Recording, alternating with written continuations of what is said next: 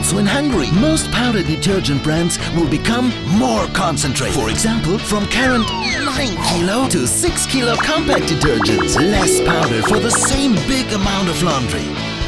Euro Compact.